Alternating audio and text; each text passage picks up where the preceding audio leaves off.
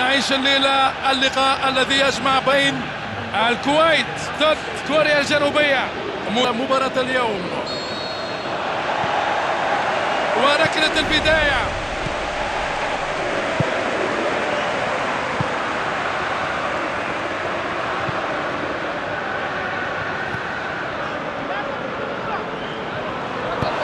يبحث عن زميله.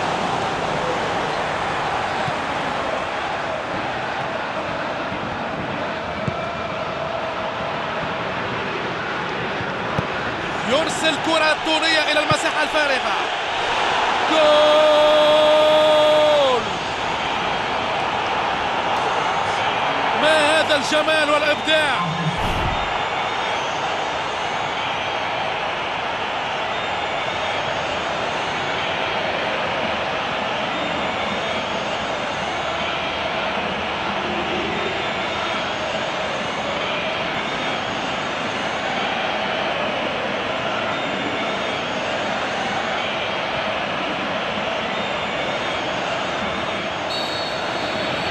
يا لها من بداية ناجحة للغاية بهذا الهدف المبكر.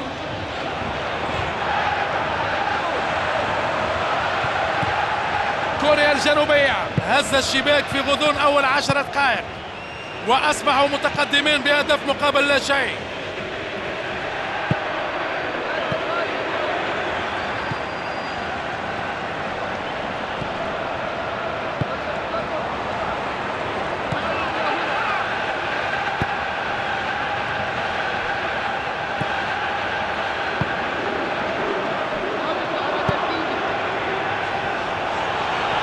عدت الكرة إنه يتحرك إلى الأمام.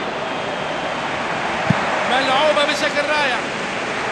كنا نتوقع جميعا من لاعب بمهارته أن يسجل. ما من شك في أنه تحول إلى دينامو الفريق. صار المثل لزملائه والمحرك الرئيسي للفريق. إنه كالجوكر يحاول فك دفاعات المنافس.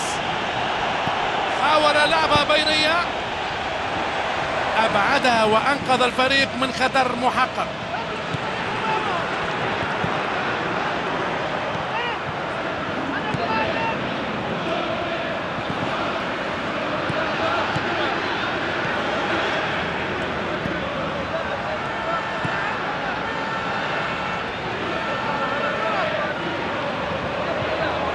يتقدم إلى الأمام. تلعب ناحية راية الركنية. والآن الكرة ملعوبة للأمام.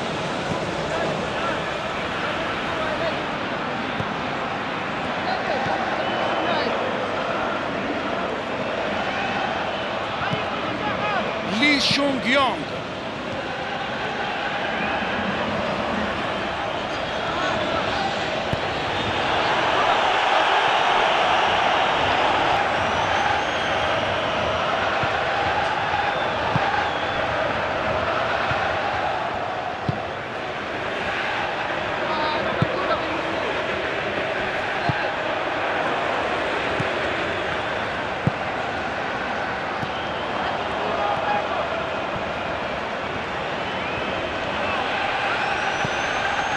لي شونغ يونغ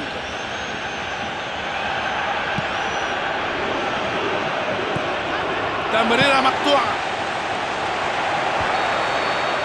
وهي صافرة الحكم لإعلان نهاية الشوط الأول. قدموا إيقاع حقيقي في التسديد على المرمى.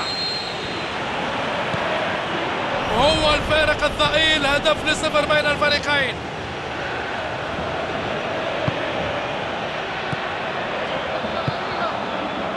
لي شونغ يونغ. يحاول تمريرها عبر الدفاع. يقوم بالتسديد. أضاع الكرة لكنها كانت قريبة جدا. نعرف جميعا قدوة سعيدوني دائما مشاهدة لاعب كهذا. في رأيي يكاد يكون من المستحيل إيقافه من الناحية المهارية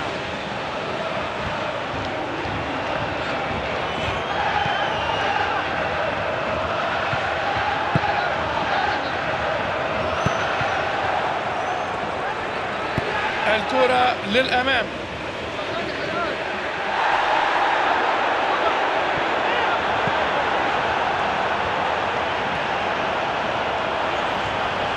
يتحدث بصورة جيدة هنا.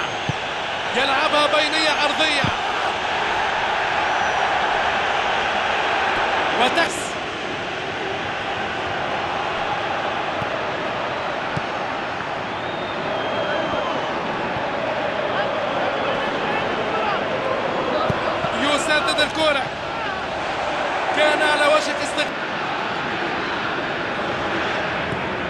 كوريا الجنوبية. إن لم يقم باستخدام البدلاء بعد.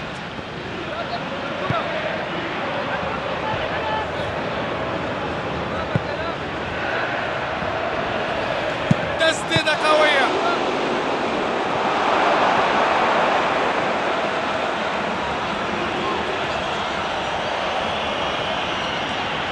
إنه يتحرك وحده.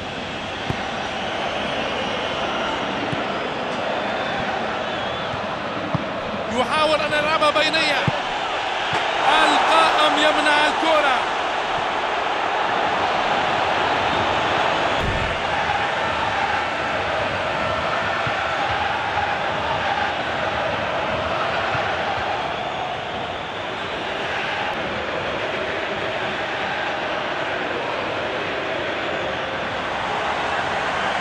ضربة ركنية وتسجيلها يحتاج إلى تركيز وفاعلية.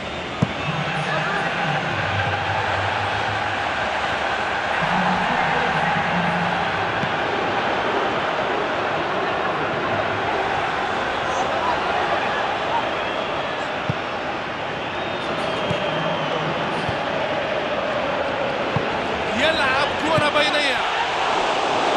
كانت ستتغير لتصبح 2-0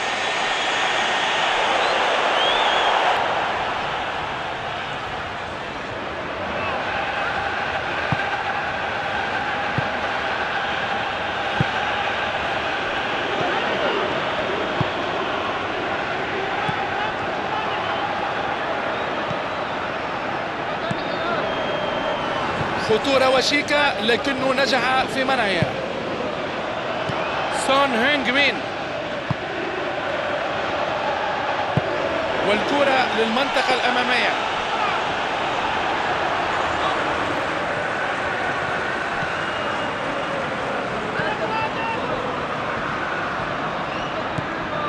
يمر الوقت بسرعة.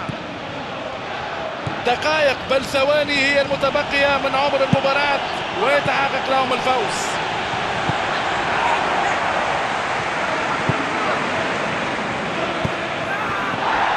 يجب أن يكونوا أكثر سرعة في اللعب. الوقت يمر بسرعة كبيرة. تدخل مش شرعي والخطأ موجود